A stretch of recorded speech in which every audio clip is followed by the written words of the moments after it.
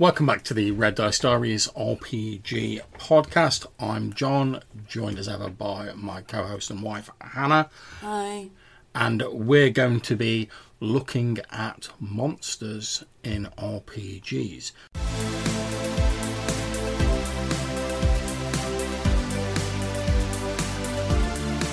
And not just monsters in general, a specific monster. But we thought to make this a little bit more fun for us, we're going to pick a monster at random. So, Hannah, how do you think we can randomly pick a monster then?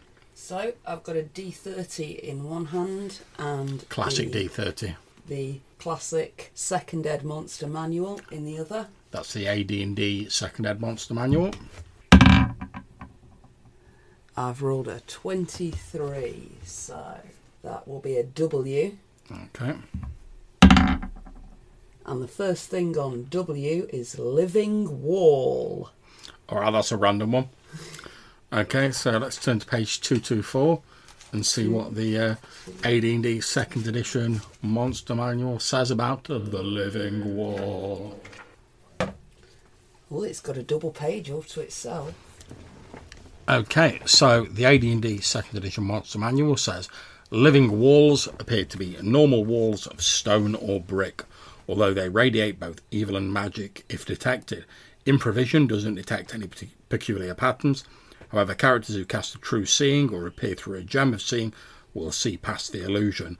The wall consists of greying and sinewy flesh, of faces, hands, broken bones, feet, and toes jutting from the surface. Characters within five yards can hear low moans of horror. The living wall contains the melded bodies of humanoids and monsters who died within a hundred yards since its creation. Those who fight a living wall are absorbed into it and actually strengthen it. And there's a, a little gruesome picture here of a wall with skeletal hands and skulls embedded in it. Very um, Cronenberg from the sounds of things. Yeah. Just And it- your sort of monster. And it seems that it's, uh, from the look of it, it's designed to sort of bridge that gap between being an actual monster and a trap. Because although it's a monster, it's not a monster in this typical sense of it just runs up to you and it starts attacking you. It's just a wall that's there. But when you try and climb over it or you try and overcome it like you would do with a normal wall, you can get absorbed into it. Or if creatures die within a distance of it, their, their sort of bodies get pulled into the wall. And it says here in the ecology section that chaotic evil mages occasionally create these. The exact method is unknown, but several years of preparation are required. Apparently, they also arise spontaneously in Ravenloft. So, if you're taking a bit of a journey into the mists, you might want to be on the lookout for the old bricks and mortar. So, do they exist in the current version of D and D? Are they a main? I, I don't oh. recall. See, I don't recall seeing them in the main monster manual, fifth edition. Appear to be. They're certainly not called living walls anymore. If they are, No, I'm pretty sure they're not in there. Let me just have a, a quick look on the old uh, internet, see what we can find about that. They may have been produced uh, as a sort of fan supplement or something like that. If you have a look on the D&D wiki at dndwiki.com, there is an entry for Living Wall as a 5th edition creature. And it's pretty much the the same sort of description here. It describes it as a horrifying construct like undead, made of the bodies of humanoids compressed into the shape of a wall, often encountered in the lairs of necromancers, liches, or vampires, serving as part of a torture chamber, or to cover the true openings of secret passages. No one knows whether they're limited in size or longevity.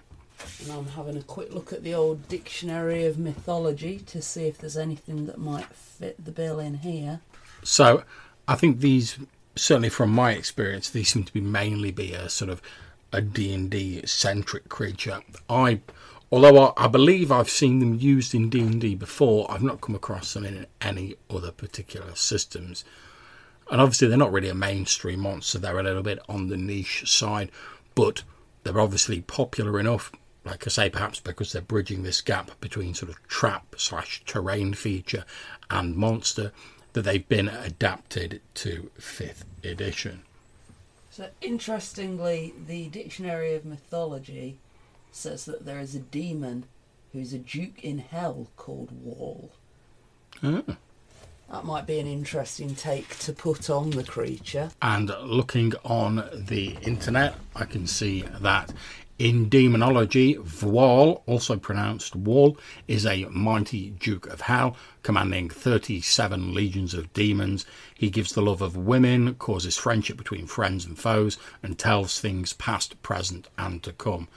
Often depicted as a dromedary, so a a one humped camel that after a while changes shape into a man and speaks the Egyptian language, but not perfectly with a deep voice. So, looking at the sort of the mythological stuff, it seems to be like more closely tied into demonology and mm. demons, whereas the traditional D and D versions are obviously more necromantic. Yeah, it's, it's a constructed thing. Just a interesting frame to put on it if you wanted to. Um, obviously, there's not really much else in there that I can see about living walls or walls of flesh. But, no, but if, if we think about it, it has sort of been represented in like popular media. I mean, think about um, there's the bit in Labyrinth with like the hands, oh, yeah, the helping hands that come out. Of it. There's the loads of stuff in films with like walls of flesh, um, particularly Hellraiser.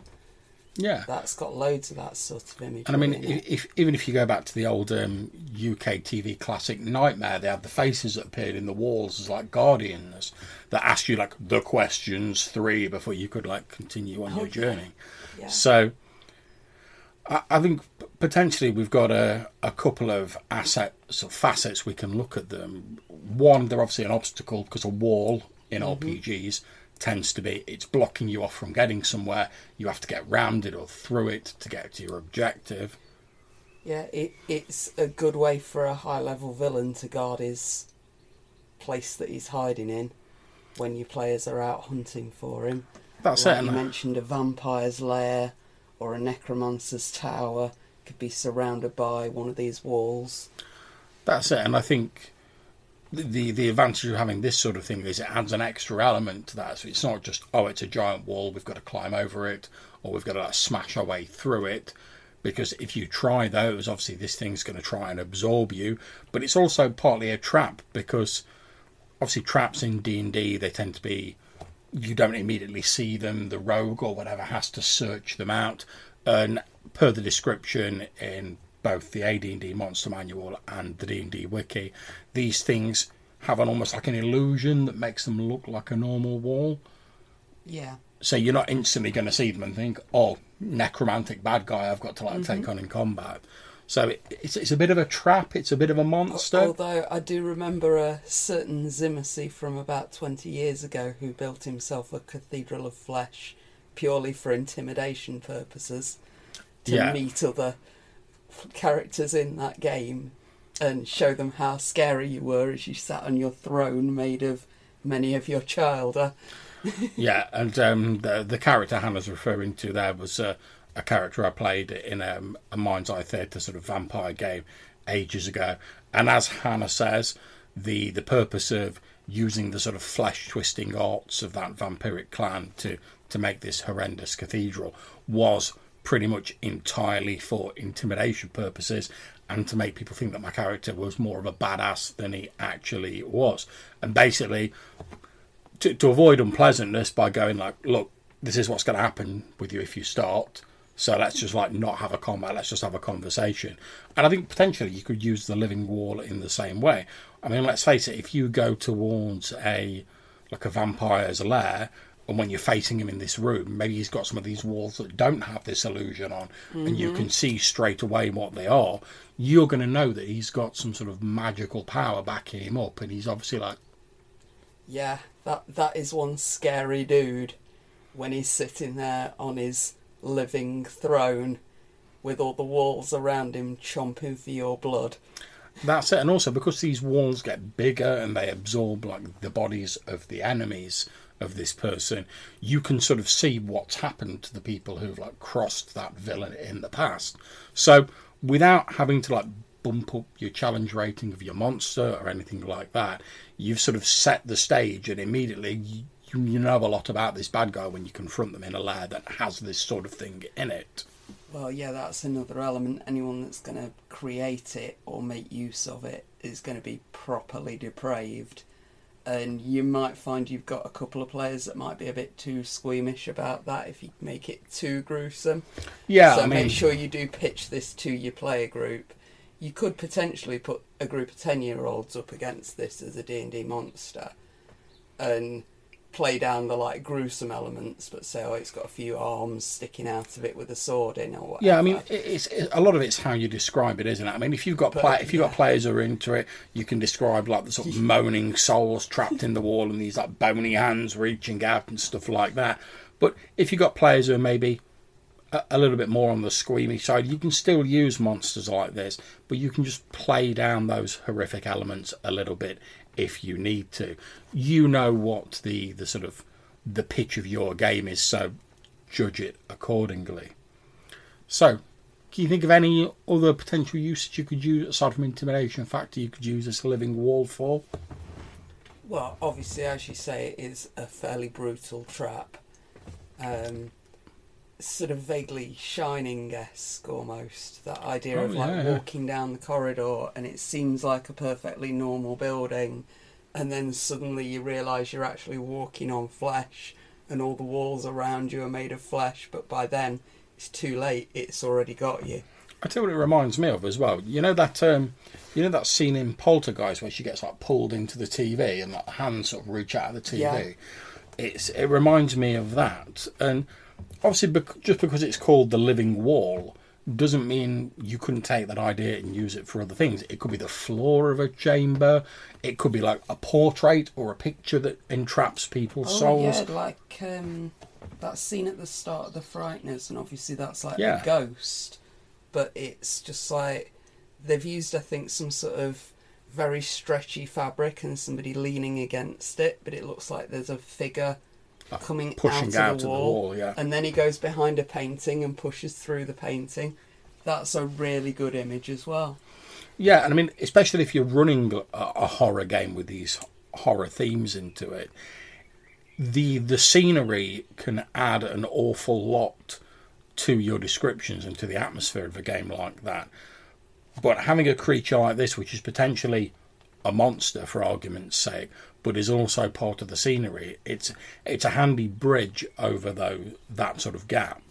if you choose to highlight it, it can be used for like that proper sort of dark element. If you like choose to think about all the people that have gone into it Yeah. and the fact that they have no longer got any control over what they're doing.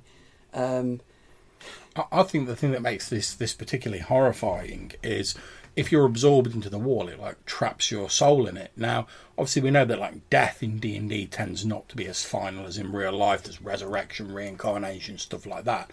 But if your character's soul is pulled into one of these living walls, effectively you can't be reincarnated or resurrected until somehow they've got your soul out of the wall, and that could be a whole like quest unto itself, really. exactly. Yeah, your friend, your person, whatever, has got stuck in that wall. You're going to want to see it destroyed. But that's, I mean, think of the horror of like, let's say you get into the vampire's keep, you make it out, but you've lost like a couple of friends. You go to the temple with like your sack loads of gold, and you're like, oh, I need you to resurrect my friend, and they're like, well, we we can't do it. Their soul's not where it's supposed to be. We don't have their body. You then have to sort of go back, sort of quest back in there to try and recover the body and the soul of your friend. Not just that, but all the like people that you could put in as NPCs who've just wandered in one after another trying to save the person that went before them. Or my little child wandered into the wall Yeah, and then my husband went after him and Yeah, I, th- I think So they, they could be so really forth. horrifying.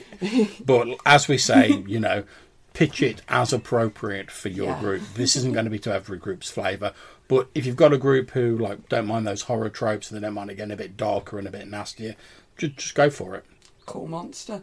Yeah, pretty Like cool. use the dice. Yeah, I mean, I, I, I do vaguely remember reading that monster, thinking it was cool when I first got the the D and D, the AD and D second edition monster manual. But uh, I think I've seen it used in one game, some variant of it. But I've I think again, it's one of those niche monsters that like doesn't really see a lot of use. hmm which is a shame. So yeah. if you're looking for something horrendous that uh, your bad guy can have to really like bolster up the, the evilness of their reputation, whilst also making their sort of their fortress, their keep, whatever, dangerous unto itself, you could do far worse than looking at the Living Wall. Like I say, it's in the AD&D second edition Monster Manual, and also if you do a quick search for Living Wall 5th edition, you will find a version of it on the D&D wiki for the latest version of D&D. Thanks for listening. We hope you've enjoyed that episode. If you want to get in touch with us, you can drop us an email. The address is rddrpgpodcast at gmail.com or if you want to leave us a voicemail message, you can head over to our page on speakpipe.com and that will allow you to leave a 90 second voicemail and you might even be featured in a future show. There's a link to this included in the show notes, as well as a link to our website and other places where you can contact us. We hope you enjoyed the show and we'll see you soon.